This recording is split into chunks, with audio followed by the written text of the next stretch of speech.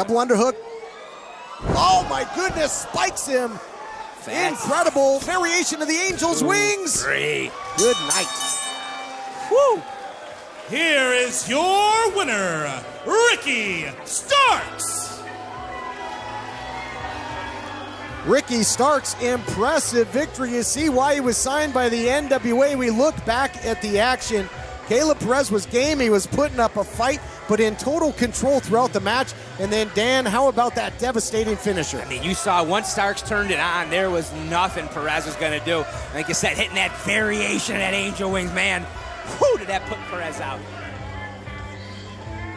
Hollywood, New Orleans, and get ready, Atlanta. The absolute is on the way.